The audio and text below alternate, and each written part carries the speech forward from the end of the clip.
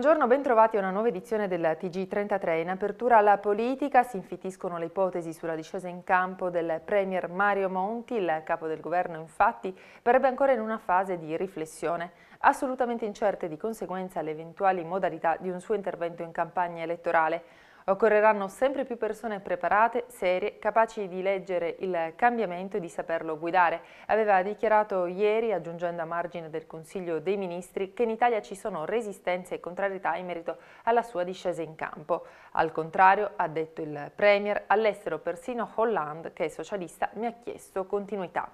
E sempre ieri l'incontro con il leader del PD, Pierluigi Bersani, non sembra essere stato privo di tensioni. È inaccettabile che Monti continui a sfogliare la Margherita due mesi dal voto, avrebbe detto all'uscita il candidato premier del Partito Democratico. Ci deve essere chiarezza nelle proposte politiche in vista delle elezioni.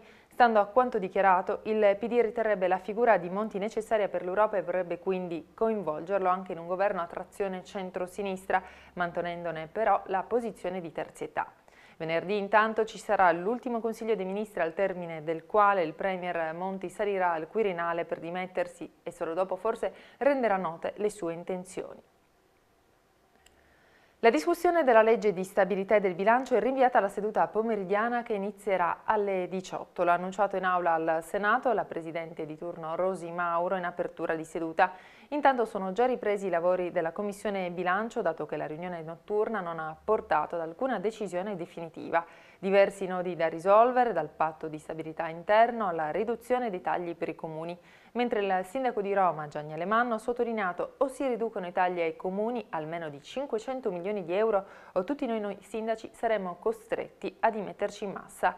Intanto sono aumentate a 1,250 miliardi le risorse per comuni e province previste nella legge. Approvato il congelamento della riforma delle province, il congelamento delle elezioni per un anno, il riallineamento della riorganizzazione delle prefetture e l'emendamento che prevede la cosiddetta busta paga pesante per i lavoratori delle zone colpite dal sisma in Emilia. Resta invece ancora da votare l'emendamento con il mille proroghe. Ora cambiamo argomento, andiamo a Palermo, crollo di due palazzine questa notte nella zona dei cantieri navali, sarebbero due morti, una donna dispersa e una decina i feriti, tra i quali una bambina di 8 anni con escoriazioni lievi. Stando a quanto riportato, da mesi si sentivano rumori e si vedevano diverse fessure nei palazzi. Questa notte la chiamata ai vigili del fuoco, immediato l'ordine di evacuazione per gli abitanti, ma non tutti ce l'hanno fatta ad uscire in tempo dagli edifici. Nei due palazzi abitavano otto famiglie e da tempo, dopo la costruzione costruzione di una struttura prefabbricata all'ultimo piano di uno dei due immobili si sentivano strani scricchiolii. Oggi i rumori ci hanno fatto preoccupare più del solito e abbiamo chiamato i vigili del fuoco che ci hanno fatto immediatamente sgomberare, racconta uno dei superstiti. Qualche minuto dopo è venuto giù tutto, il palazzo si è sbriciolato e ha trascinato con sé anche quello vicino.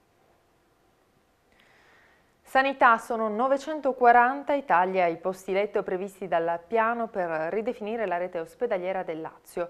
39 riguarderebbero il Pertini, 50 l'Umberto I, altri 50 il San Giovanni e 72 il Santo Spirito.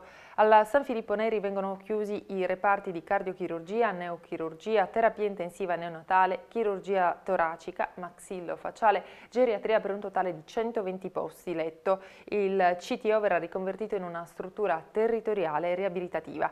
Serviranno altri 10 giorni per mettere a punto gli ultimi dettagli, poi il commissario per la sanità del Lazio, Enrico Bondi, quindi potrà ultimare la partita. È un piano che presenta buone prospettive di raggiungimento del pareggio di bilancio fra il 2014 e il 2015, ha dichiarato Bondi, che prevede la riqualificazione e riconversione dei posti letto ordinari in posti territoriali di residenzialità già a partire dal 2013.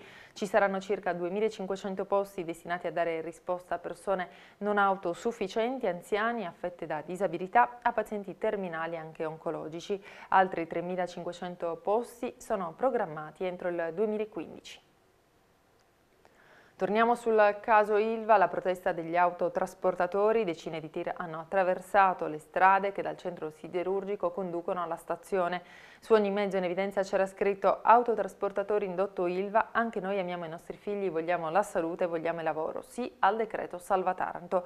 Non stiamo più lavorando da un mese, dichiarano i camionisti che trasportano la miere, ma la fermata degli impianti dell'area a freddo, prima per la crisi del mercato, poi per il sequestro dei prodotti finiti e dei semi lavorati, confermato dal GIP, rischia di far saltare questa attività dell'indotto ILVA.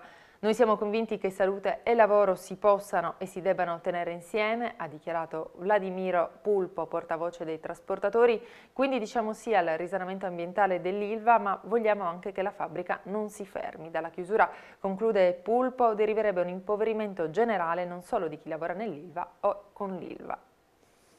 E ora la pagina degli esteri, che apriamo con il caso Marò, l'Alta Corte del Kerala in India ha rinviato domani la decisione sulla licenza di Natale per i due Marò italiani. Massimiliano Latorre e Salvatore Girone, detenuti da dieci mesi, infatti avevano chiesto due settimane di permesso per trascorrere la festività natalizia in Italia.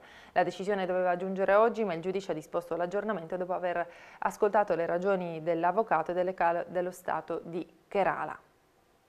E ora in Siria sono di nazionalità russa le altre due persone rapite ieri insieme all'ingegnere catanese Mario Belluomo, l'ha confermato il portavoce dell'ambasciata russa nel paese, Sergei Markov, e il ministro degli esteri di Mosca ha rivelato che è stato chiesto un riscatto per la loro liberazione. I tre ostaggi sono dipendenti dell'industria siderurgica di Nshio, L'ingegnere italiano è originario di Catania ed è stato rapito nell'area di Tartus, città costiera a nord di Damasco.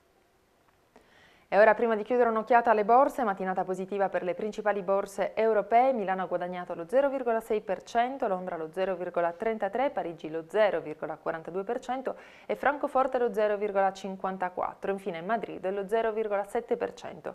Cala invece lo spread, il differenziale tra BTP e Bund tedeschi si trova a quota 314 punti, mentre la borsa di Tokyo ha segnato un rialzo dello 0,96% e Seoul dello 0,51%. Questa è la nostra ultima notizia, grazie per averci seguito, vi auguro un buon proseguimento di giornata, arrivederci.